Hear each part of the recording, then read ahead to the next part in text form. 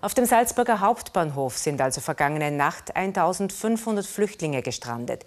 Sie wollten von Ungarn mit dem Zug nach Deutschland. Die späten Züge hatten aber keinen Anschluss mehr nach München und die Flüchtlinge mussten am Bahnhof ausharren, darunter viele Familien.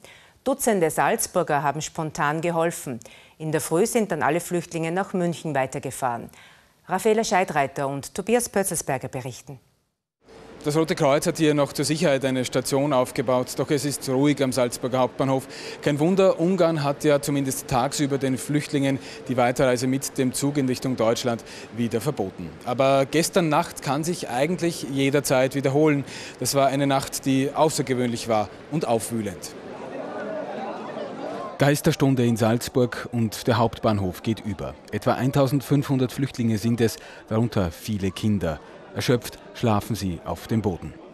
Dazu die Erwachsenen, auch müde, aber keiner hier ist am Ziel. Alle wollen sie nach München, nur der Zug hat sie in Salzburg ausgespuckt. Endstation. Wenigstens haben sie den Krieg hinter sich gelassen. Es war eine gefährliche Reise, aber wir sind da und glücklich. Viele haben ihr Leben verloren. It's very dangerous. Es war gefährlich und wir haben im Meer viele Begleiter verloren. Jetzt geht es uns langsam aber besser. Wir fühlen uns willkommen und auch sicher. Die Flüchtlinge sind nicht allein. Schon am frühen Abend kommen private Helfer zum Bahnhof. Sie kaufen Wasser und Lebensmittel, packen alles in Säcke, schnell zum Verteilen, wenn die Züge stehen bleiben. Es ist so, ich komme aus Bosnien und ich kenne schon dieses Gefühl wenn du einfach in der Zug oder Bus oder irgendwo hinsitzt mit den Kindern und einfach gehst irgendwo und weißt nirgends was, ob irgendwer wartet auf dich, ob du Nahrung kriegst. Da sind Menschen, die ankommen, die brauchen was zu essen, die brauchen was zu trinken. Man geht einfach zum Bahnhof, wenn man was kaufen kann und kauft was und stellt sich dahin und verteilt das verdammte Scheiße. Da gibt's nichts. Es gibt keine Ausreden. Aber unter die Hilfsbereitschaft mischt sich auch Ärger über die Politik. Das ist eine Frechheit und dass auch jetzt nichts unternommen wird. Was, was wird passieren, wenn wir ganzen Helfer nicht da wären? Und das, ist, und das ist eine Katastrophe. Und wir stehen jetzt da, wir zerbrechen uns den Kopf, was wir machen sollen. Die lieben Politiker oder wer andere ähm, in, in irgendeiner Funktion, die autorisiert sind, da etwas, etwas machen zu können. Und die müssen einfach was tun und, und, und das ist ein Wahnsinn. Allerdings, es gab sehr wohl einen Krisenstab der Behörden und auch Asyllandesrätin Berthold war die Nacht am Bahnhof. Je später der Abend, desto mehr Menschen helfen jedenfalls. Es werden 40 oder 50 Leute, sie haben zu tun. Die Züge bringen mehr Hungrige und Durstige. Die Helfer kaufen den Supermarkt leer, die ÖBB übernehmen die Rechnung.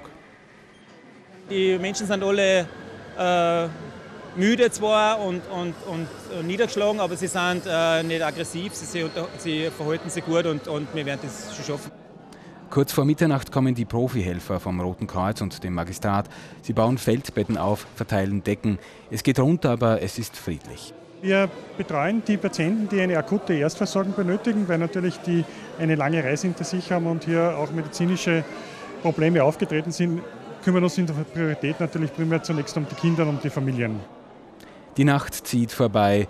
Es ist eigenartig, denn laut Fremdenrecht und EU-Gesetzen dürften diese Menschen nicht hier sein, müssten von der Polizei ausgewiesen werden.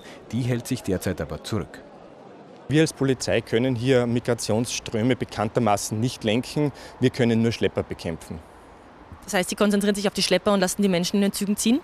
Wir sind tagtäglich mit äh, Schleppern konfrontiert. Das heißt, wir haben auch ähm, seit Jahresbeginn über 50 Schlepper festgenommen. Die Hälfte davon in den letzten zwei Monaten und dementsprechend sind wir hier verstärkt im Einsatz. Um 4 Uhr früh fährt der erste Zug in Richtung München. Großes Gedränge, alle wollen rein, nur ein paar dürfen. Die anderen müssen auf die nächsten Züge warten. Die Stimmung ist angespannt. Ein Mann hat seine Familie im Zug, darf aber selbst nicht mehr hinein. Er läuft los, aber er weiß wahrscheinlich selbst nicht, wohin.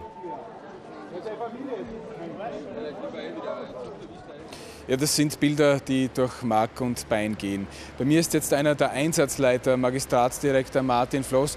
Herr Floss, heute hat Ungarn den Flüchtlingsstrom wieder gestoppt, aber klar ist, das kann eigentlich jederzeit wieder passieren. Was machen Sie dann? Nun, es liegt nicht in unserer Hand. Das kann jederzeit wieder passieren. Wir versuchen aus den gestrigen Ereignissen unsere Schlüsse zu ziehen. Ähm, das Rote Kreuz, wie man im Hintergrund sieht, äh, hält sein System hochgefahren äh, die, die Stadt Salzburg wird weiterhin für technische Hilfeleistungen durch die Berufsfeuerwehr Gewehr bei Fuß stehen und ich bin sicher, dass die ÖBB und auch die Polizei den Einsatz vom gestrigen Abend, von der heutigen Nacht evaluieren werden und die Abläufe verbessern. Das kann ja kein Dauerzustand sein. Das wird hoffentlich auch kein Dauerzustand sein. Tatsache ist, dass sämtliche äh, Reisenden weiterreisen wollen. Äh, sie wollen keinesfalls in Salzburg bleiben. Sie wollen auch den Bahnhof nicht verlassen. Daher geht es uns in erster Linie um die Notversorgung hier vor Ort. Gestern waren schon am Nachmittag die ersten Aktivisten hier, haben privat geholfen. Und aus deren Reihen gab es dann die Kritik, die offizielle Hilfe sei sehr spät gekommen, erst kurz vor Mitternacht. Was sagen Sie dazu?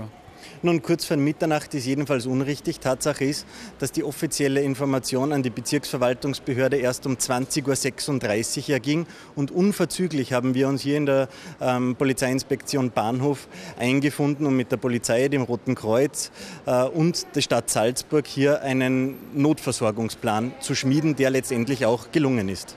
Also hat alles geklappt aus Ihrer Sicht?